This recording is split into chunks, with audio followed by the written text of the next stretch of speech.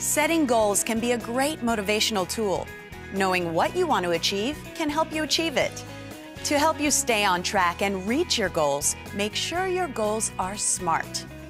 Specific. Know what you're trying to accomplish. I want to lose weight is not a specific goal, but I want to lose 20 pounds is. Measurable.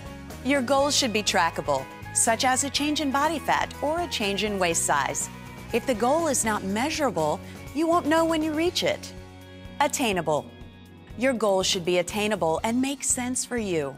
Setting unattainable goals will only lead to discouragement. Realistic. You should set a goal that pushes you but is still realistic to obtain. Setting a goal of losing 20 pounds in a week will only set you up for failure. Timely. A goal should be grounded within a set time frame.